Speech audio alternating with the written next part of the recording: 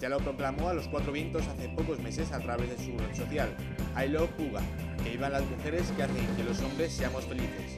Gracias por tu amor y por tenerme así. Está muy enamorado de ella y se le nota.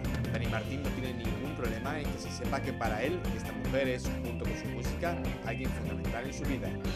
Comenzaron su relación hace más de un año son inseparables.